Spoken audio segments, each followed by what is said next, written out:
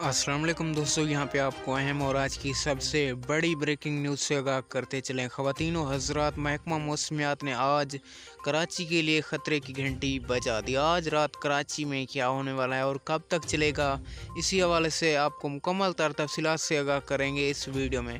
Video کو آخر تک دیکھتے رہیے۔ چینل پر پہلی مرتبہ وزٹ کریں تو اس ویڈیو کو لائک کر لیں، چینل کو سبسکرائب کر کے بیل ایکن کو آل پر سلیکٹ کر لیں تاکہ اس طرح کی ویڈیوز کا نوٹیفیکیشن آپ کو ہر وقت اور سب سے پہلے ملتا رہے۔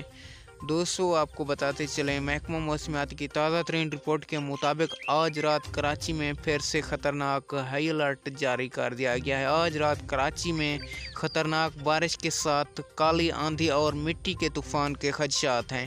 محکمہ موسمیات کا کہنا ہے کہ آج رات بارش کے دوران آسمانی بجلی گرنے کے بھی خدشات ہیں۔ اس کے علاوہ پنجاب میں بھی آج رات موسم ابرالود رہے گا اور بعض مقامات پر بوندا باندی ہو سکتی